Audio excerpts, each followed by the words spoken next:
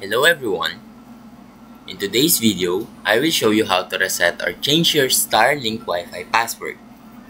Now open the Starlink app on your smartphone.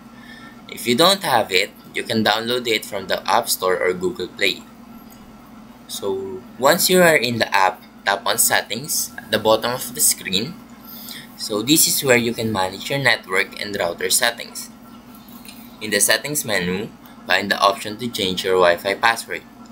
Tap on it and enter your new password. Make sure it is strong and secure.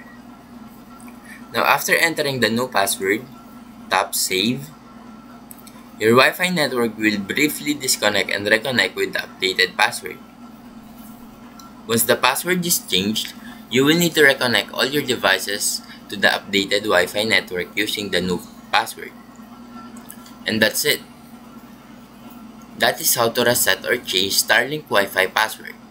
Now if you found this video helpful, please leave a like and subscribe.